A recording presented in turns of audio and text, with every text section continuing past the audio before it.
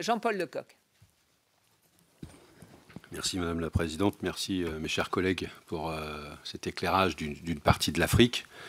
moi, je reste choqué par notre, vocabulaire, notre façon d'aborder ces sujets.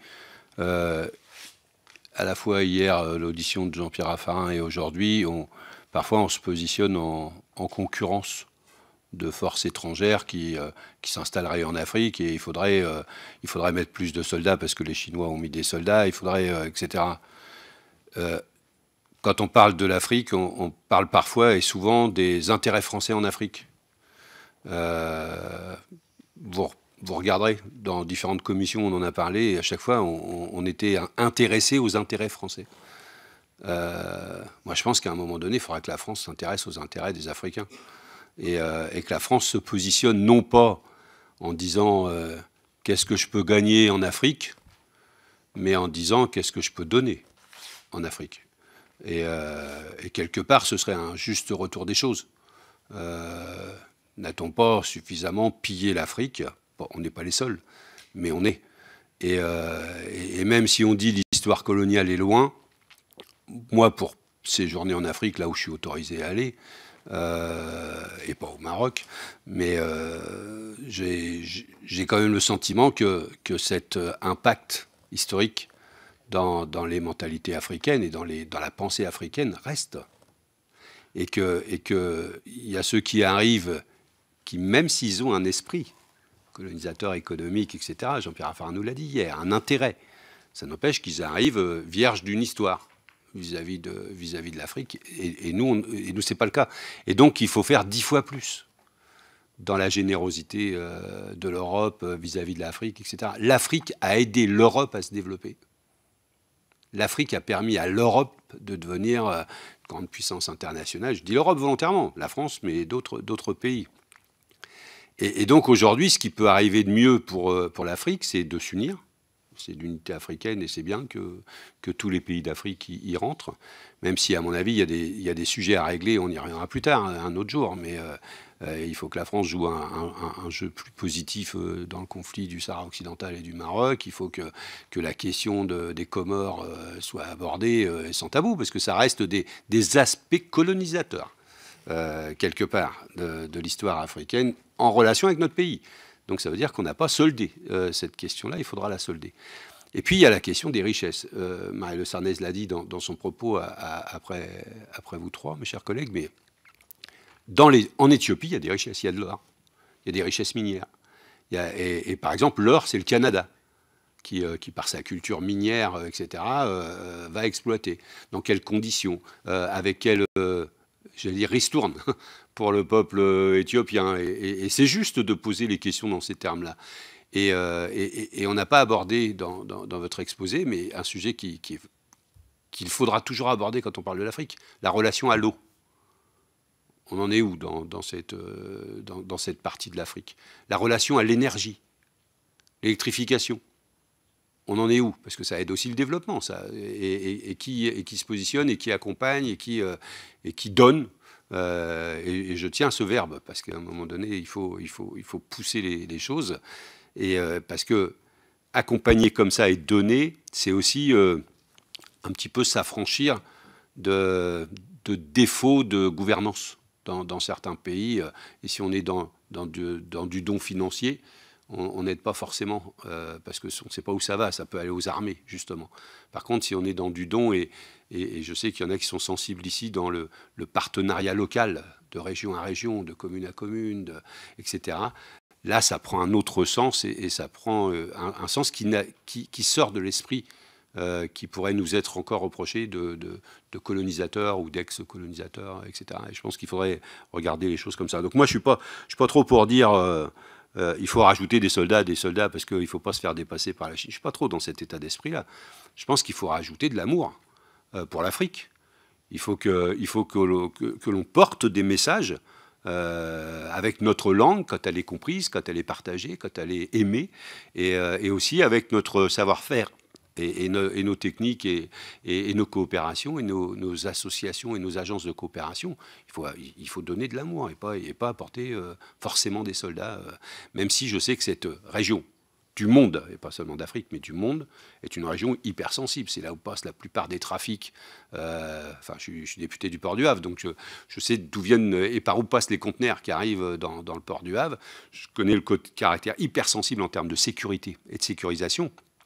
Et si c'est ça la question, est-ce qu'il faut sécuriser les, flux euh, commerciaux, etc., c'est important. Mais pareil, si l'Afrique et si Djibouti ou d'autres nous permettent, de, sécuriser nos flux, de sécuriser nos flux, euh, ben, qu'est-ce qu'on donne euh, en échange Comment on, aide Puisque notre présence là-bas est pour notre intérêt. Et pas seulement pour l'intérêt des, Éthiopiens, des Érythréens ou des Djiboutiens, mais pour notre intérêt. Et donc, quelque part, bah, il faut qu'on puisse donner. Mais, je pense que le, fait de prendre du temps dans, nos, dans, ces missions euh, pour voir où on en est, moi, j'ai, enfin, je suis de la génération chantée pour l'Éthiopie, quoi. C'est-à-dire qu'à un moment donné, sur, euh, sur l'évolution de l'agriculture, enfin l'Éthiopie, c'était un pays euh, agricole, agraire. Enfin, il y avait... Euh, puis après, il y a eu ces famines, etc. Où on en est aujourd'hui, comment ça a évolué, comment on a accompagné. Je ne suis pas sûr qu'on ait beaucoup accompagné l'agriculture, si ce n'est dans des savoir-faire, parce que j'ai dans ma ville des, des, agriculteurs qui étaient jeunes agriculteurs et qui sont allés coopérer pour essayer de donner du savoir euh, pour euh, améliorer euh, quand on n'a pas d'eau et faire pousser des plantes quand même, etc., dans les différents types d'arrosage. Enfin, voilà, moi je suis dans cet état d'esprit, mais, je pense que votre retour de mission peut nous accompagner à, changer notre tranquillement, hein, c'est pas critique ce que je dis puisque je me mets dedans parce que parfois on a des réflexes comme ça, mais changer un peu notre approche et notre vocabulaire et notre regard sur l'Afrique. Merci beaucoup, monsieur le député. Cher rapporteur, un mot après l'intervention de Jean-Paul Lecoq. Christian. Oh oui, mais euh, moi, je souscris parfaitement à cette, belle analyse qui est. elle n'est pas que philosophique, elle est, humaine et elle est, responsable. Et en effet, on a parfois tendance, à, dans un rapport comme le nôtre, à voyager au nom de la France. C'est ce qu'on a fait, d'ailleurs. J'en suis très fier et, peut-être de ne pas regarder, euh, euh, comme tu l'as bien décrit, le, fait que, euh, oui, on, a un passé. Hein, mais souscris complètement à ce que tu as dit, Jean-Paul. mais le petit élément qui, me fait valoriser un peu mon pays et, la nation aujourd'hui, ma nation aujourd'hui, c'est que par rapport à ce que les autres leur apportent, et ils le sentent, vraiment, les Chinois, ça les énerve. Et euh, en Éthiopie, euh, c'est pas supportable. Je suis allé au Zimbabwe il n'y a pas longtemps. Euh, ils sont honnis par leur forme de suffisance et de. on a fait des tas de bêtises. là, on est plutôt. Je considère, je vais loin dans ce que je veux dire, je suis à la commission des affaires étrangères, mais on est plutôt mieux vu en ce moment. Et. et, et hein? Qu'on a un bon président. Dit parce qu'on a un bon président. Je ne sais pas si on peut dire ça, mais, mais peut-être, probablement. Mais, mais le, la manière dont les Français se comportent à Djibouti, euh, telle qu'on l'a ressenti, la manière dont ils sont eux-mêmes ressentis, la manière dont euh, même la, la, base militaire est ressentie, ce qui est quand même quelque chose de particulier, c'est plus que ça a été. Et peut-être en particulier avec la comparaison de ce qu'il y a à côté. Euh, je, le vois comme ça.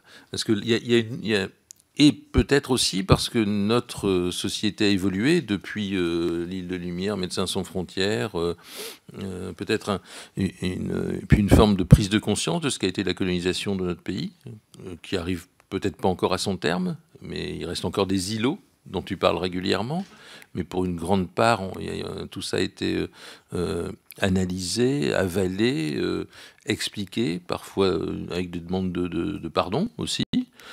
je pense que dans un bon nombre de pays aujourd'hui, la, France reprend une forme de couleur qui est celle de son, de son humanisme et de son universalisme. Et à Djibouti, moi, je l'ai ressenti comme tel. Voilà. Merci Christian. Puis-je ajouter que euh, c'était très intéressant à Djibouti parce qu'on nous a beaucoup parlé des militaires. Les Djiboutiens nous ont beaucoup parlé des militaires. Et au fond, ils ont parlé des militaires et de leur famille. C'est-à-dire qu'il y a une vie en commun des forces françaises qui sont là-bas, entre la population djiboutienne et les forces françaises, qui est extrêmement intense. Ils se sentent membres euh, d'un même ensemble, d'une même communauté, ce qui n'est pas du tout le cas avec les Chinois qui sont euh, derrière les murs et, qu'on ne voit pas, qui n'ont pas les familles. Je, dis ça, c'est après on peut discuter euh, très longtemps. Faut-il des bases à l'extérieur de notre pays Quels sont les dangers Quelles sont les bonnes stratégies Ce sont d'autres types de débats. Je veux simplement dire là le ressenti de ce que nous avons euh, entendu sur le terrain des habitants de la population de Djibouti. les militaires français font partie de leur vie, de leur vie quotidienne.